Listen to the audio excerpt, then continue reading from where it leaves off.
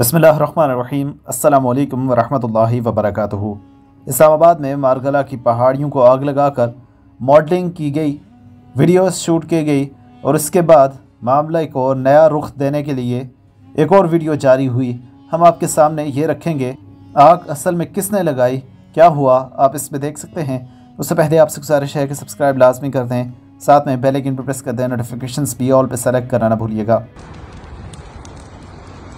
देखिए गाइस हम यहाँ आए हैं तो ये जंगल में आग लगी हुई है इनसे पूछा है तो ये क्या कह रहे हैं आप कुछ बताइए। हाँ इसलिए ये आग लगाया हमने इधर भी बहुत बड़े बड़े सांप निकलते हैं और उसमें दिन भी दो तीन मुर्गी के बच्चे हमने हमारे सिखाए हमारे बच्चों के खतरा होता है इसलिए हमने आग लगाया। सांप निकलते हैं निकल। हाँ। जल जाते हैं फिर इस तरह? हाँ कम होता है ना अगर इधर से निकलते हैं वापस भी निकले निकले। आप निकले फटाफट। ठीक है बहुत अच्छा किया। आपने बता दिया नेक्स्ट टाइम ना रुकिएगा जंगल में।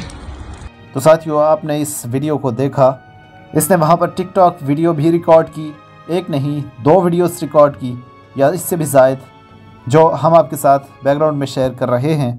अब इस तमाम मामले पर इंतज़ामिया को ख़बर क्यों करना हुई, महकमा जंगलात को जवाब हर हाल में देना पड़ेगा कि उन्होंने इस किस्म की हरकत के लिए इजाज़त कैसे दी, या मुल्क के हर एरिया में ही जंगलात को आग किसके कहने पर लगाई जाती है और आखिरकार क्यों इन लोगों को पकड़ा नहीं जाता?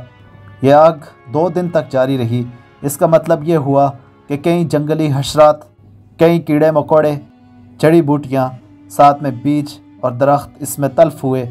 इस तमाम चीज़ को लेकर इस खातून के ख़िलाफ़ अगर ये मुजरमा है तो इसके ख़िलाफ़ कार्रवाई होनी चाहिए और खसूस मुतल अफसरान को कानून के कटहरे में हर हाल में लाया जाना चाहिए। आप इस वीडियो को प्लीज़ ज़्यादा से ज़्यादा शेयर करें और सब्सक्राइब भी कर दें। बेल आइकन भी प्रेस कर दें नोटिफिकेशन भी ऑल पर सेलेक्ट कर दें। वीडियो के मुतालिक आप अपनी आराज से हमें ज़रूर आगाह कीजिएगा। हम आपके कमेंट का इंतज़ार करेंगे। अल्लाह हाफ़ अल्लाम वरहमल वर्का